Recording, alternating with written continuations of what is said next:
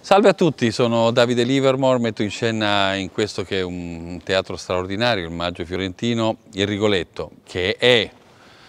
opera maestra, insomma, da Victor Hugo, Le Roi Samusi, il Re si diverte, Verdi con Piave hanno creato un capolavoro assoluto che racconta le nostre umane fragilità in una maniera struggente, straordinaria e senza tempo. Eh, vi aspettiamo in streaming, eh, in sogno, sì, sognateci.